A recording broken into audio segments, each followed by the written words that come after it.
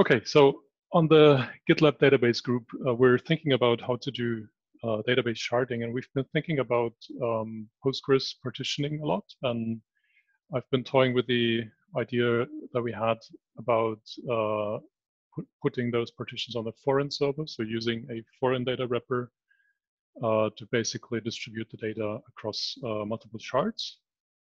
And uh, I'm going to record a quick demo of, of how that could look like. Uh, it's pretty hacked together, uh, but perhaps that's the start. So in this example, I'm again using uh, the issues table here, and we're partitioning by um, a hash of the project ID. The reason is simply that this is already available, so uh, we don't have to add more um, columns uh, and load the data for that. Um, we're going to create eight partitions. Uh, we distribute them on two shards, and a shard is a local database here. Um, so that's a physically separate database on the same cluster. Uh, and the idea is that obviously you can you can use that later and run that on a different cluster as well. Um, I'm in my development environment here. Uh, I have a, a blank uh, database, so that's the standard uh, GitLab schema, and um, I have a pending migration here. So um, while I run that in the background, we can perhaps take a look at this. Um, so in this migration, we basically create those two shard databases. Um, we drop the issues table, so that's the existing one.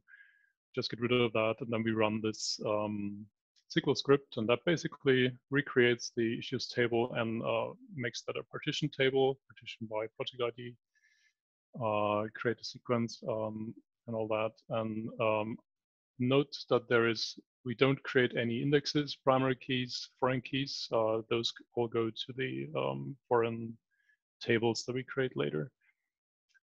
And this is the interesting part. Basically, we uh, create a separate schema for putting the um, tables or the partitions later. Uh, we create the extension for the foreign data wrapper.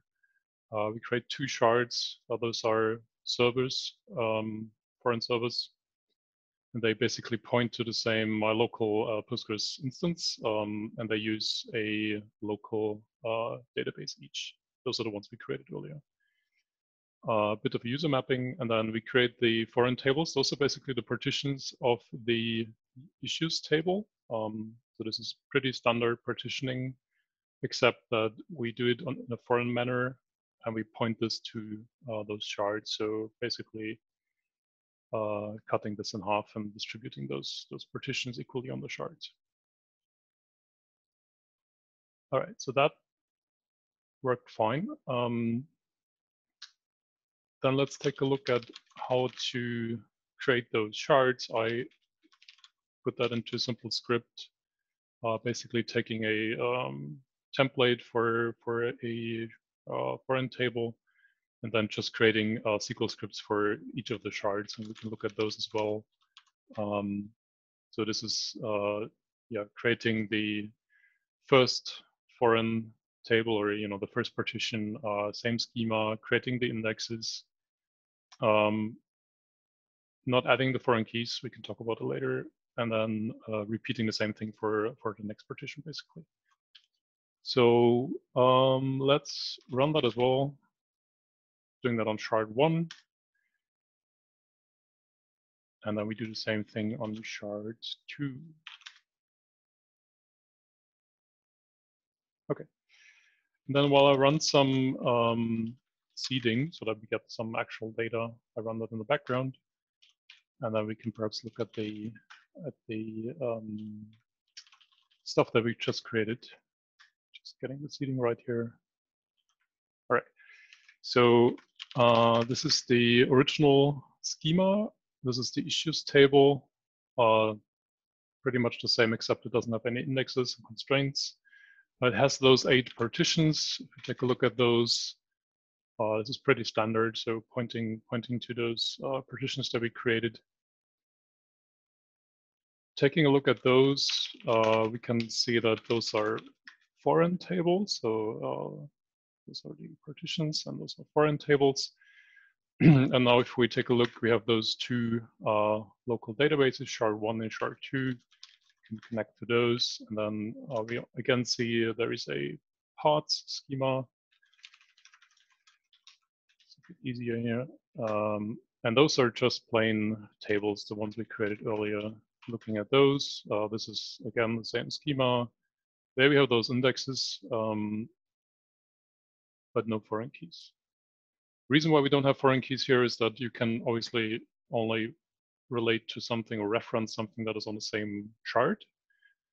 Uh, in this case, we, for example, would want to um, reference the users table from the issues table, but truth is we don't have the users tables on the same shard, so we can't do that. Um, so that is a sort of a limitation uh, that you can't have cross shards, cross shard foreign keys or um, constraints and stuff like that. Okay, then uh, let's go back to the main database. And the seeding uh, is still running, but it already created some issues, I suppose. Let's take a look at this. Um, just selecting everything. So there's a bunch of issues in the table. Um, let's perhaps see a plan for the for that query, and we can see that uh, this looks like partitioning, except that um, those are foreign scans. So we're scanning uh, each of those partitions, and, and each of them lives somewhere else. So we, we scan that uh, foreign server. Um, perhaps we can take a look at how this works for when you have the partitioning key available. So in our case, that's project ID. Uh, we can perhaps take a quick look which projects we have. So um, just taking a random example. So now we add the project ID filter, let's say project ID 2, and then we look at this and um, now we don't scan, uh, or we, we only scan the, the partition for um, this particular project, um, or, you know, where, where project, the hash of the project ID uh, modulo 8 is 2.